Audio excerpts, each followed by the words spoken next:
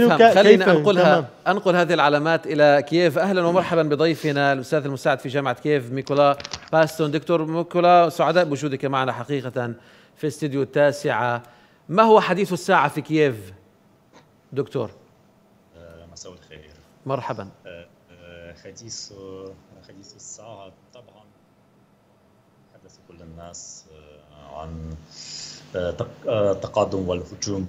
المضاد للقوات الأوكرانية وتحرير مناطق واسعة في مقاطعة خاركي ومقاطعة خرسون. هذا أولا. وثانيا طبعا أمور يومية ونفكر عن الشتاء وعن تدفئة البيوت وشراء الوقود لذلك. وهذا أيضا مسألة طيب ضيفنا هنا الأستاذ هشام يقول بأنه ما جرى حقيقة في الأيام القليلة الماضية في هذه المعركة وهذا الانسحاب الكبير للجيش الروسي والمساحات الشاسعة.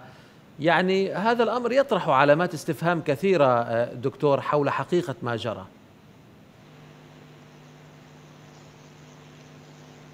دكتور ميكولا ما حقيقة ما جرى؟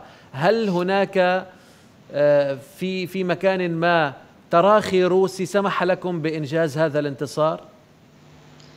أعتقد أن الجيش الأوكراني لم يسأل إذن الروس لهذا التقدم فقد خططوا وصمموا هذه العملية وحققوها بشكل رائع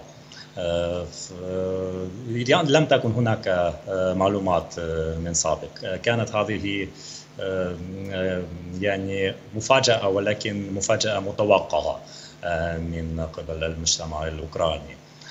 كنا لا نعرف في أي لحظة سيحدث ذلك ولكن لم تكن لم تكن هناك شكوك أن ذلك سيحدث وسيحدث قريبا.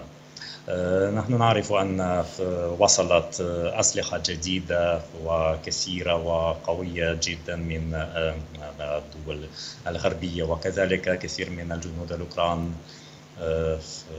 تلقوا تدريبا في دول أخرى ورجعوا وهززوا صفوف الجيش الأوكراني.